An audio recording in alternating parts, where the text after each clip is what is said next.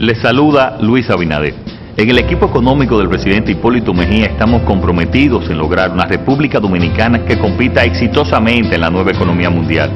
Llegó la hora de multiplicar nuestras exportaciones y crear nuevos empleos bien pagados, desde lanzar las zonas francas, de financiar la pequeña y la mediana empresa familiar.